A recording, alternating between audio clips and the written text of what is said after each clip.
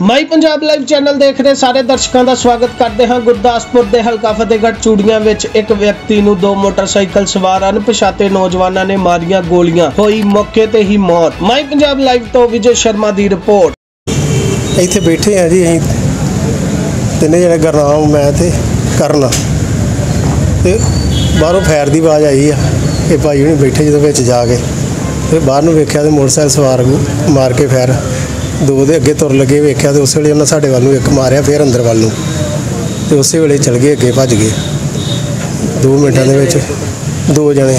ਤੇ ਕੋਈ ਰੰਜਿਸ਼ ਵਗੈਰਾ ਜਾਂ ਕਿਸ ਤਰ੍ਹਾਂ? ਇਹ ਗੱਲ ਦਾ ਕੋਈ ਪਤਾ ਨਹੀਂ ਸੀ ਕੀ ਆ। ਹੁਣ ਇਸ ਵੇਲੇ ਕਿੱਥੇ ਖੜਿਆ ਉਸ ਅੰਮ੍ਰਿਤਸਰ ਲੈ ਗਏ ਹਸਪੀਟਲ ਕੀ ਹਾਲਤ ਦੱਸੀ? ਹਾਲਤ ਦੇ ਵੇਖਣ ਦੇ ਮੁਤਾਬਕ ਮਾੜੀ ਹੈ ਜਿਨ੍ਹਾਂ ਦੇ ਗੋਲੀ ਲੱਗੀ ਉਹਨਾਂ ਦਾ ਨਾਮ ਕੀ ਹੈ? ਸਤਨਾਮ। ਸਤਨਾਮ ਸਿੰਘ ਜੀ ਤੇ ਜਿਹੜੇ ਮੋਟਰਸਾਈਕਲ ਤੇ ਫਰਾਰ ਹੋਏ ਨੇ ਉਹਨਾਂ ਦਾ ਕੋਈ ਹੱਲੇ ਪੁਲਿਸ ਵੱਲੋਂ ਕੋਈ ਪਤਾ ਲੱਗਾ ਜਾਂ ਨਹੀਂ ਲੱਗਾ? ਨਾ ਨਾ ਕੁਛ ਨਹੀਂ ਅਜੇ ਦੇ 2 ਮਿੰਟਾਂ ਦੀ ਗੱਲ ਹੈ ਜੀ। ਤੇ ਤੁਹਾਡੇ ਕੋਲ ਅ, ਮੌਕੇ ਤੇ ਕਿਹੜੇ ਮੁਲਾਜ਼ਮ ਇੱਥੇ ਪਹੁੰਚੇ? ਇੱਥੇ ਪਤਾ ਨਹੀਂ ਜੀ ਕਿਹੜੇ ਕਿਹੜੇ ਪੀਸੀਆਰ ਵਾਲੇ ਤੇ ਦੂਸਰੇ ਹੋਰ ਸਾਰੇ। ਇੱਕ ਵਜੇ ਅੱਜ ਪਤਾ ਲੱਗਾ ਵੀ ਸਤਨਾਮ ਸਿੰਘ ਸਾਨੂੰ ਜੋਗਿੰਦਰ ਸਿੰਘ ਫਤਿਹਗੜ੍ਹ ਚੂੜੀਆਂ ਦੇ ਨੇ।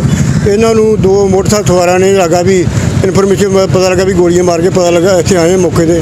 ਤੇ ਦੋ ਕੈਮਰੇ ਦੇ ਵਿੱਚ ਮਾੜੇ ਵੀ ਉਹਨਾਂ ਦੀ ਫੋਟੋ ਹੁੰਦੀ ਆ ਵੀ ਦੋ ਮੁੰਡੇ ਹੁੰਦੇ ਮੋਨੇ ਗੋਲੀਆਂ ਮਾਰ ਕੇ ਚੱਲ ਜਾਂਦੇ। ਹੁਣ ਆਪਾਂ ਟੀ ਜਿੰਨੇ ਵੀ ਸੀਸੀਟੀਵੀ ਕੈਮਰੇ ਸਾਰੇ ਚੈੱਕ ਕਰ ਰਹੇ ਆ ਤਾਂ ਕਿ ਇਹਨਾਂ ਨੂੰ ਗ੍ਰਿਫਤਾਰ ਕੀਤਾ ਜਾ ਸਕੇ ਤੇ ਅਗਲੀ ਕਾਰਵਾਈ ਜੋ ਵੀ ਅਮਲ 'ਚ ਲਿਆਂਦੀ ਜਾਏਗੀ ਠੀਕ ਆ?